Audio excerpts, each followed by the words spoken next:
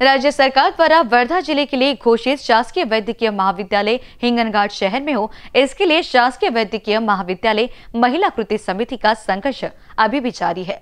शासकीय वैद्यकीय medical college महिला कृति कमेटी ने कल डॉक्टर बाबा साहेब आम्बेडकर चौक पर आयोजित धरने आंदोलन का 103वां दिन बड़े हर्षोल्लास के साथ मनाया। मेडिकल कॉलेज के लिए महिलाओं द्वारा लिए गए निर्णय के अनुसार प्रत्येक रविवार को डॉक्टर बाबा साहेब आम्बेडकर चौक पर रचनात्मक विरोध प्रदर्शन किया जाता है। इस रविवार को महिलाओं ने आँखों में काला काजल लगा के और 103 वे दिन 103 बाद मेडिकल कॉलेज को हिंगन घाट आना चाहिए का नारा लगाकर कल से आंदोलन दिवस को मनाया।